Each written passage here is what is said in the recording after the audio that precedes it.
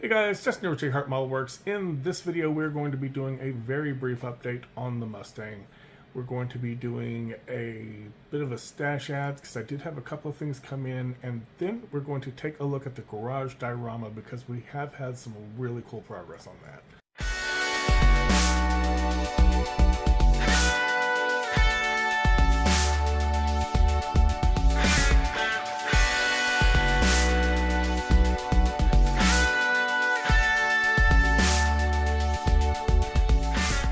Alright guys, bench update on the Mustang.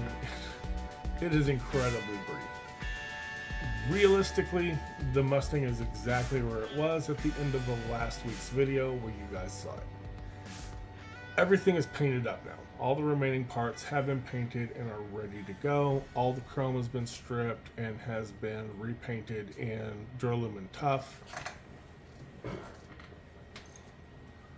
I love this paint. You can only get it on Etsy from uh, Digital Armory's website, but this is a really nice chrome.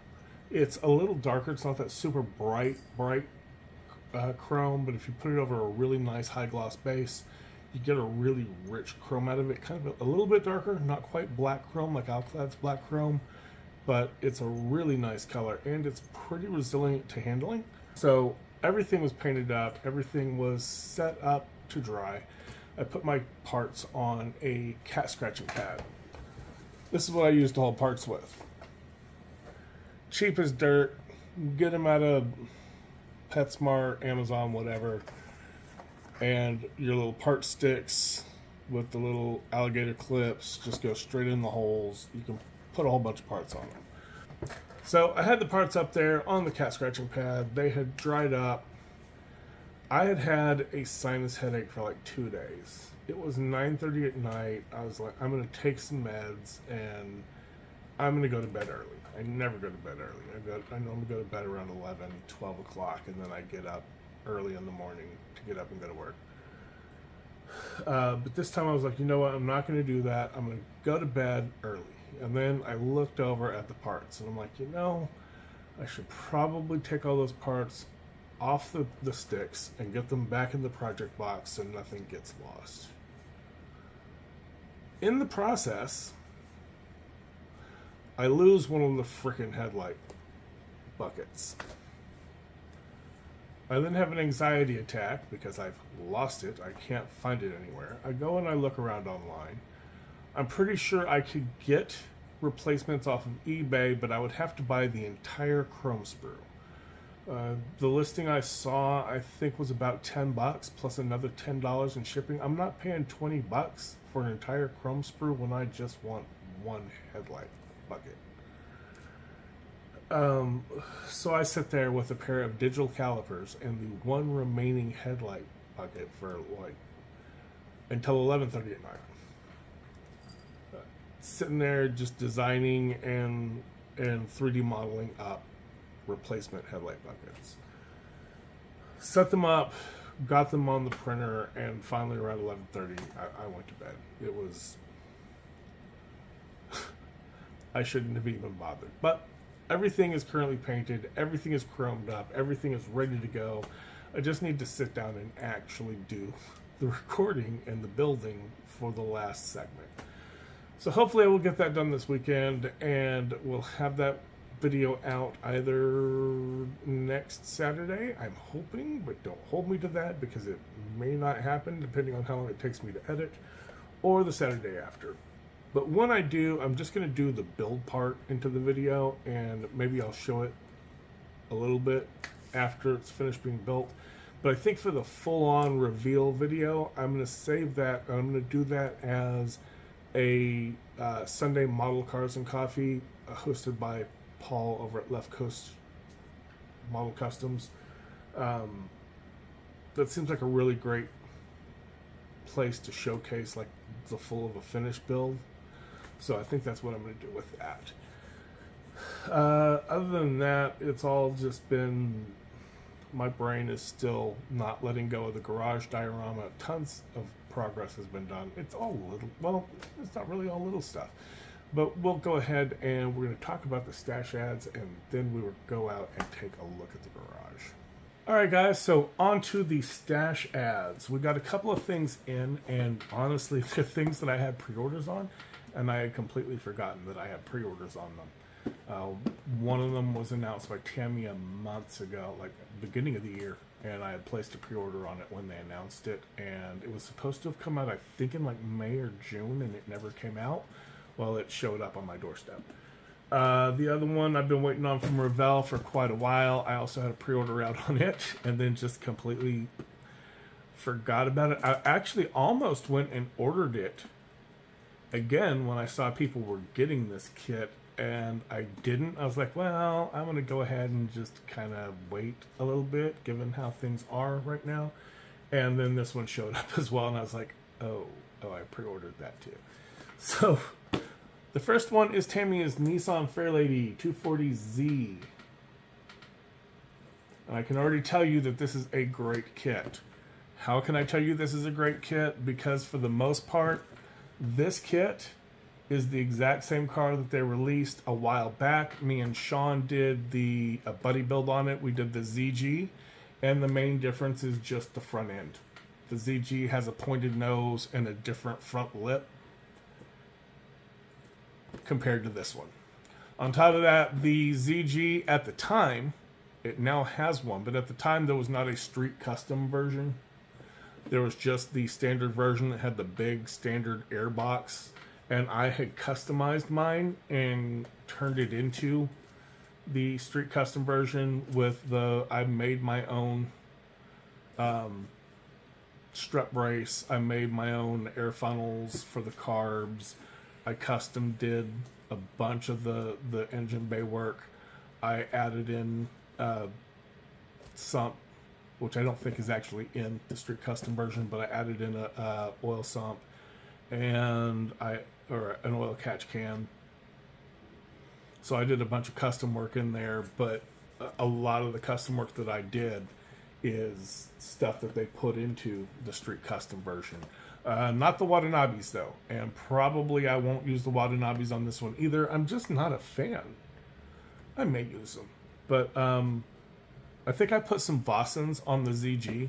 We'll see what happens with it. I'm looking at either a candy blue or a candy green. I got some plans. We'll see when we get there. It'll be a while though. The other stash add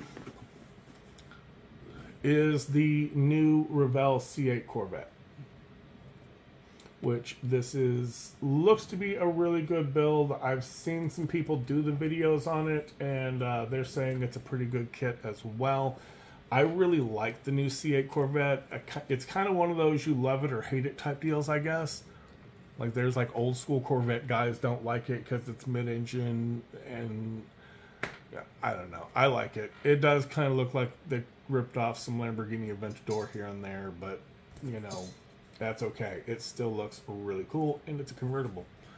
So they say it's a coupe, but the topper moves. So to me, that's when they've got a convertible and they've got a coupe, and the top comes off both of them. That makes no sense to me. Your coupe is a hard top.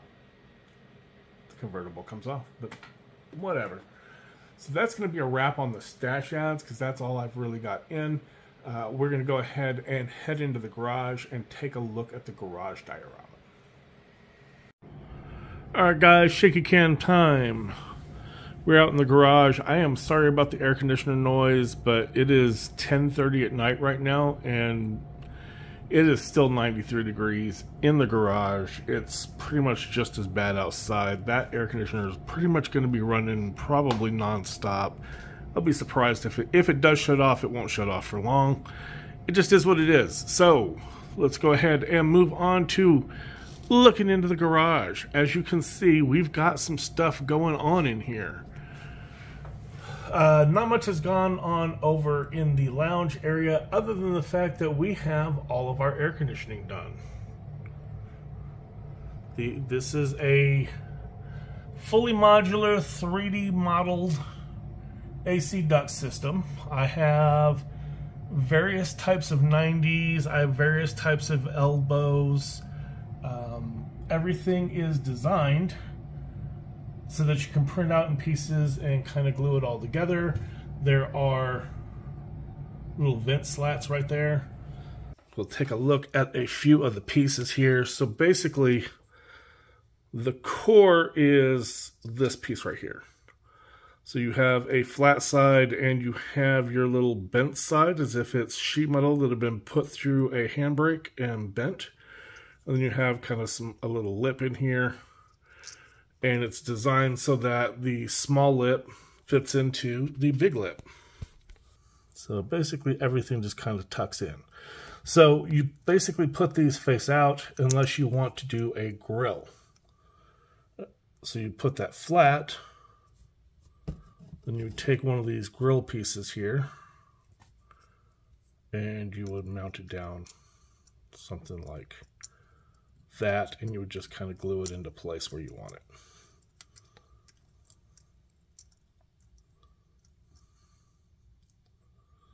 I did it that way so you could kind of mix and match and do what you wanted to do. There's also some end caps in there.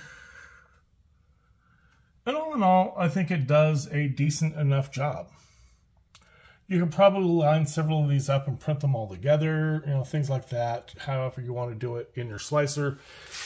I did put these up on my Cults page. It's, like I said, it's a fully modular system that you can just kind of assemble and do whatever you need to do with it. It does go up to the top. The original plan, these are hollow pieces. And the original plan was I was going to run all the electrical up into the AC ducts and I was going to use the duct work to move it all the wires around. And that really just kind of turned out to be a lot of a pain, but it would work if you really wanted it to. Instead, I ended up doing holes through the, uh, the actual foam and running stuff around the outside. Speaking of which, so basically there's a hole through here. There's a hole right there for the garage and all those wires run around to the side. There's also some stuff down here for where the workbench is and that comes up and it's it's all channeled. So basically all the foam, I cut these little grooves in and I ran the wire into those grooves and then I just taped over. That way, if I'm taking this to a show or something and it gets bumped or knocked, there's no fear of the wires getting caught and snagged and ripped out and things like that. Everything is nice and tucked inside the foam and covered over pretty flat and smooth. Uh, the, the duct tape on the top isn't pretty. It's not really meant to be. Again, it's just kind of there to make sure that things don't get snagged as little as possible. And all of our electrical fits down in that box in the back, like I said it would. So all of that is wrapped up. It is all tucked in. So that kind of covers the electrical stuff. So our workbench itself is done. I'm really happy with the way this turned out.